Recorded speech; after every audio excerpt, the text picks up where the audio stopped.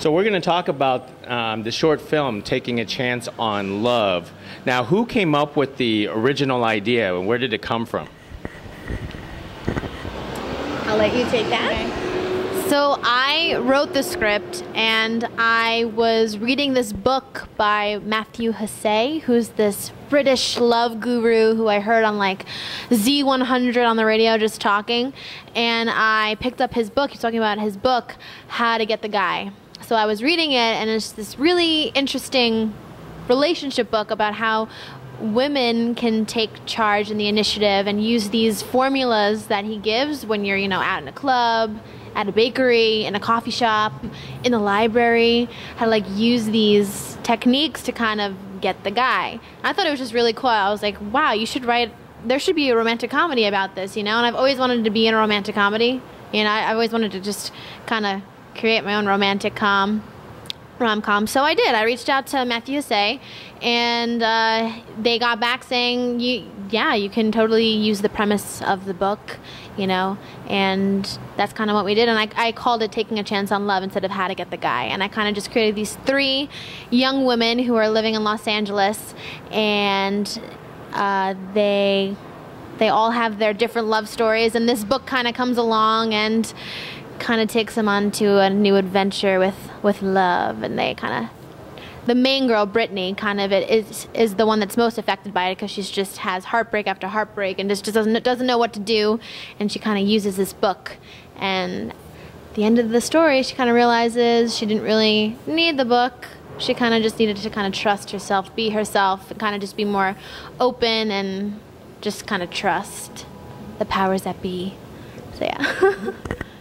I just want to add that um, you also, it was originally uh, the the need to create was came from the need for you to want to perform and write a scene for herself, and from that combined with reading this relationship um, book, uh, and we changed up everything. So it was really just a matter of the concept and the idea, and then you creating your own story based on the need to perform and the idea of a young woman stepping out of her comfort zone. I think in doing that. Um, yeah. So. I thought the premise of the movie was about taking a chance, wasn't it? It is, yeah.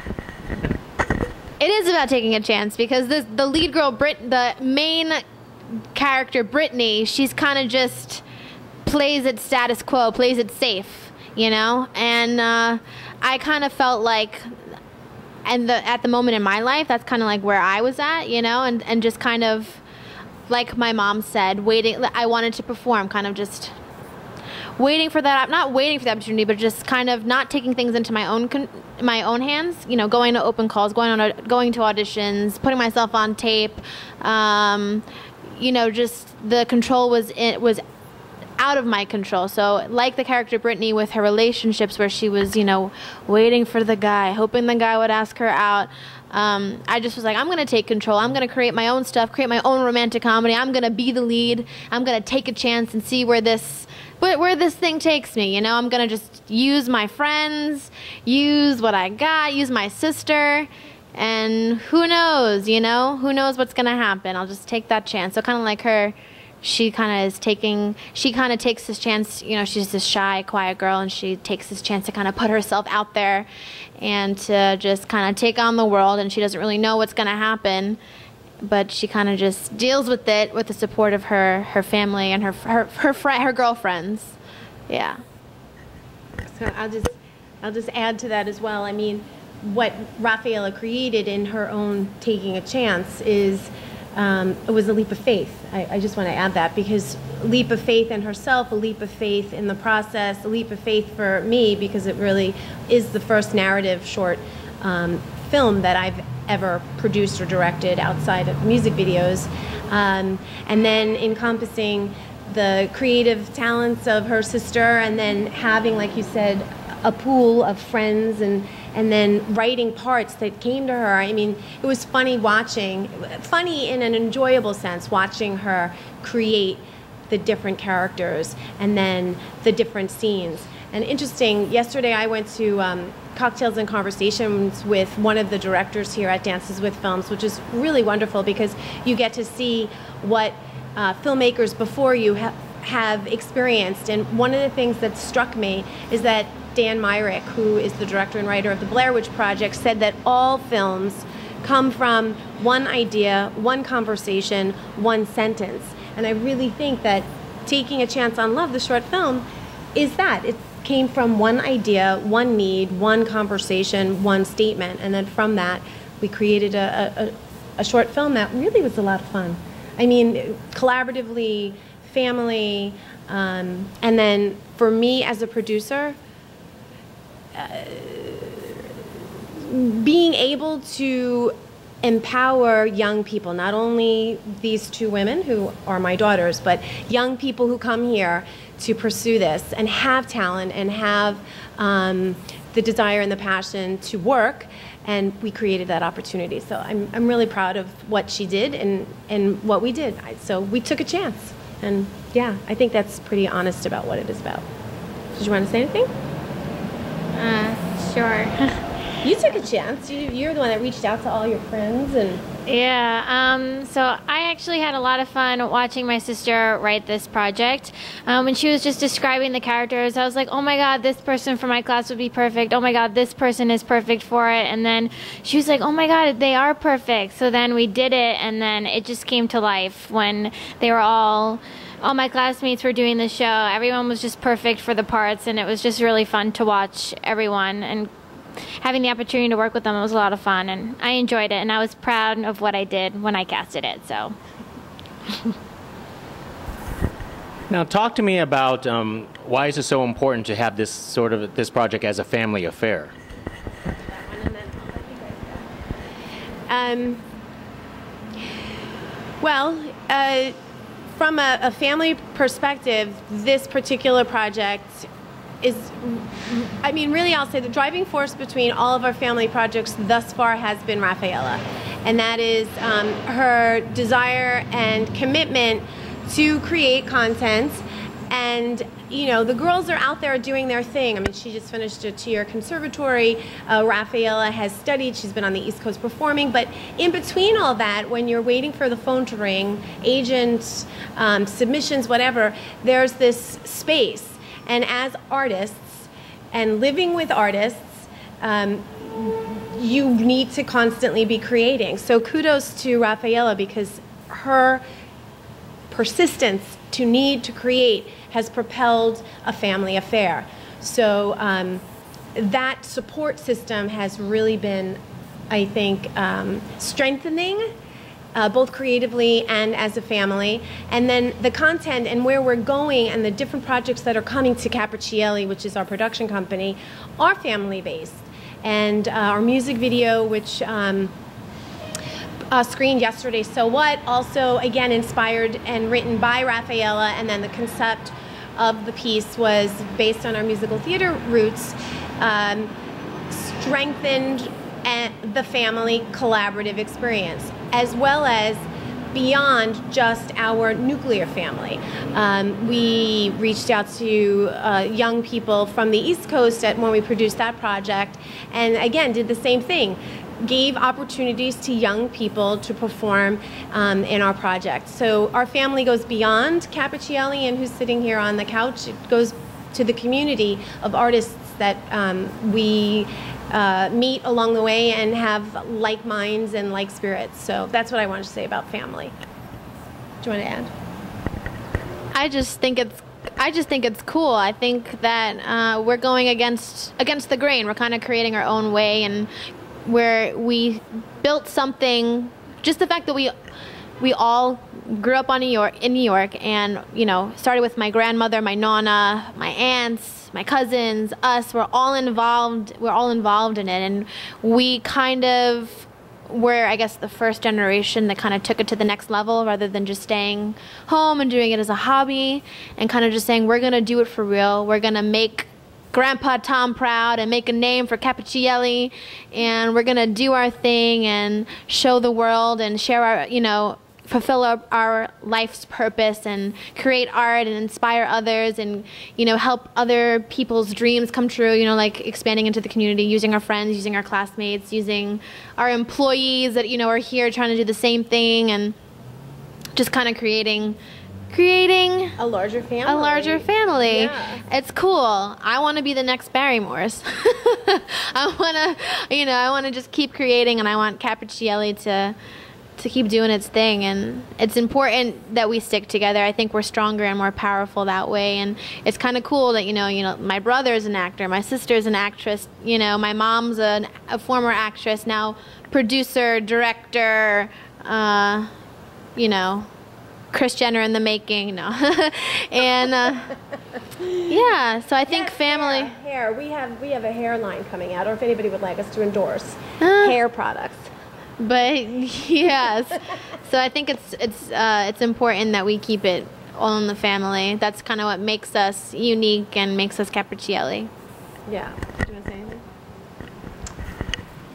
I am just really happy to be a part and have a family uh, and have a mother like I do who is very persistent with everything. And she's always doing something and she always wants to do something. all her emails, I just love it. I love every part of it. just being a part and doing all the projects. Um, I just feel very. I feel special to have a mother such as her and a sister who's an actress and who's very passionate and a dad who is a writer and who's very passionate and a little brother who's really into it and just to come from a whole family of actors and actresses. It's just crazy. And just being out here in LA is just crazy. So I'm happy. How did you guys come to the decision that this would be a short film, not a, a full feature, you know, movie-length film or a music video? I mean, how did you come to that process? Well, I'll just say it really quick. I'm not going to talk long. Um, I just really quickly, the decision was budget. The decision was stepping stone. Um, so uh, less is more. So in, in order to execute uh, the goal and to do it quickly, things fell into place which made sense. Budget, crew, cast, and timing. So that really was, for me as a producer, the deciding factor to do a short film. Uh, not to do a music video. We already did a music video, and we knew that the sum of Raffaela's songs that she had written um, would cross over into this. And Raffaela is uh, pretty prolific in writing lyrics and music, so the music video will come after. There is a song featured in the film, um, which she wrote after the fact called Fearless, and it's in the running credits, and we are um, uh, due to slate production for a music video in July. So. I originally was just writing a scene so that I can act, and then I was I just I ended up writing three scenes, and then I just thought to myself, why not making a short film? And just because all the the the scenes kind of had to do with like three different love stories, I just thought I would make it into a film, and it kind of just made more sense. Didn't really make sense to make it into a two-hour film, three scenes, so I made it into a 15-minute film, and that's kind of why it was a short film too. Was the transition from music video to short film um, difficult for you? Uh, you know, music video, as we saw in yesterday's screenings, the program was artistry, like a, a very diverse form of artistry using a mixture of art forms. And one of the things that, um, for me, our music videos thus far are very, very much a story as and could be transferred visually to the stage, which is my background, theater, musical theater, as well as visually to the medium of film. So um, I don't think taking a chance on love is that far different than the way I executed the storyboard or we executed the storyboard for um, the music video to the to the film.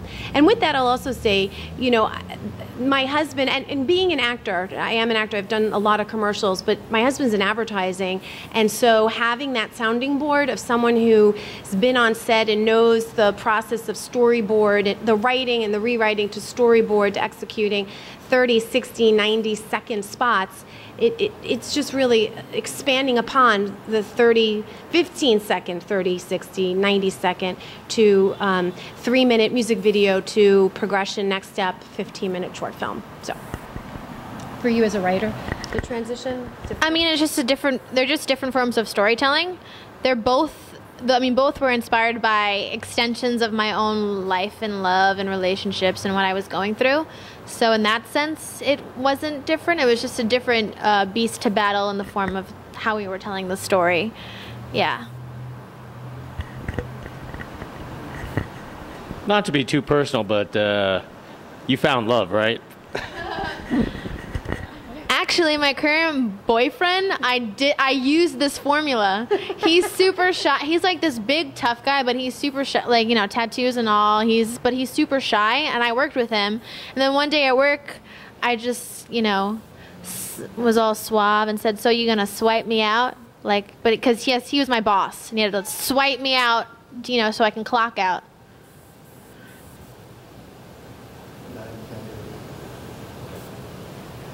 I mean, just one more question.